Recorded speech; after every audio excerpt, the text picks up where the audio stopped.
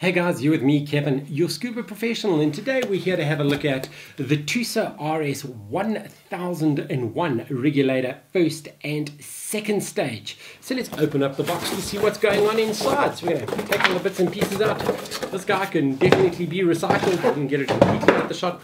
Instruction manual. Important you read your instruction manual beginning to end so you fully understand how your regulator works. Recycle that as well. Let's uh, pop open the bits and pieces to see. We have a lot of plastic over here. Let's just pull that plastic out the way. Come here. Mm, plastic. More plastic. Oh, and yet more plastic. Three bits of plastic going to recycle all of those bits and pieces. All right, cool. So uh, let's have a look at the regulator. So it's the R1000 regulator. It's the DIN fitting over here. This is part of Tusa's balanced diaphragm range, meaning that the pressure on each side of the chamber is balanced. So this regulator will deliver air to you no matter what the depth and what the air pressure at a really high flow rate. So it's a higher performing regulator. And this one also being environmentally sealed, meaning that it can be dived in colder waters as well.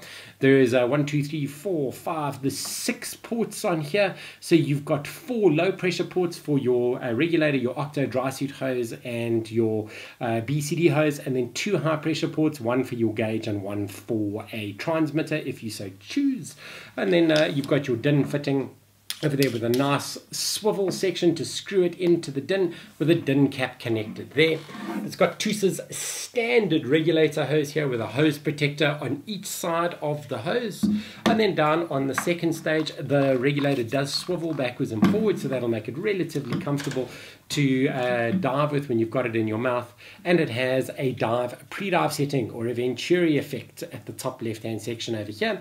So this would just stop the regulator free flowing if you're at the surface rolled off the back of the boat and the regulator hit the water. So you would leave that on the surface section. It's quite clearly indicated surface.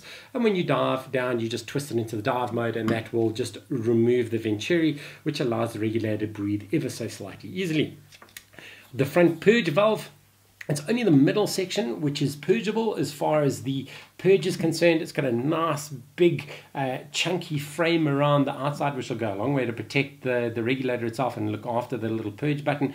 The smaller purge does reduce the chance of this regulator free flowing as well. The whole uh, second stage is made of a molded polymer so it's going to be quite solid. Tusa regulators are renowned for being really hard workhorses and never giving any problems. T-piece relatively big, so when you've got that in your mouth, it'll deflect the bubbles away from your uh, your chin really, really well. And it's got Tusa's ergonomic comfy bite mouthpiece.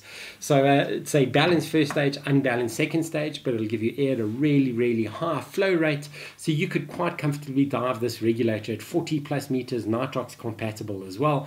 And it would give you air at a really high flow rate no matter what the depth and no matter what air is left in your cylinder. So it's quite high performing. Service and parts on the Tusa regulators in South Africa very, very easy to get um, and is also relatively cheap to service and maintain.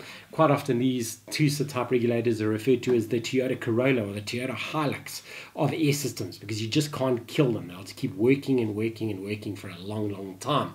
So, there's a very quick and easy review of the Tusa RS 1001 system, first stage and second stage, available from our site. This will work perfectly with any one of the Tusa BCDs and Tusa air systems if you were to build it together as a set. Really, really reliable. So if you guys are enjoying the product reviews, please feel free to subscribe to our YouTube channel. Go click over there and click subscribe, and we'll keep you up to date with all the reviews and our thoughts on all these funky little bits of scuba gear which we're reviewing on an ongoing basis. You can also go check out our social streams. Just give scuba.co.za a search on the Instagrams, Twitters, and Facebooks, and we're bound to come up because we're putting cool pictures there all the time. So that's it from me, guys, and I look forward to seeing you really soon in the water.